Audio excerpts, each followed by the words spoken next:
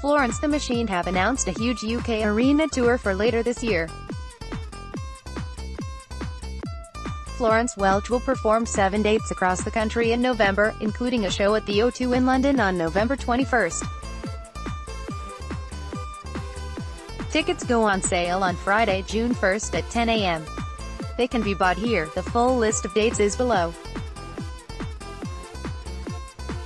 November 15th, Leeds First Direct Arena November 16th, Birmingham Genting Arena November 17th, Glasgow the SSE Hydro November 21st, London the O2 Arena November 23rd, Manchester Arena November 25th, Brighton Centre November 26th, Cardiff Motorpoint Arena The news comes after Florence Welch recently announced plans to release her fourth album High as Hope in June 29.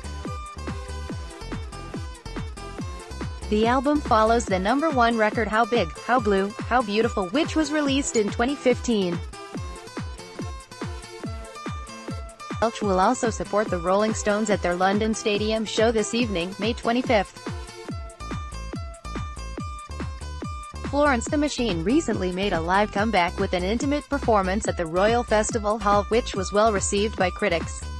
Earlier this year, Welch previously made headlines by scolding the Conservatives for using her version of You Got the Love during the party's conference in Manchester.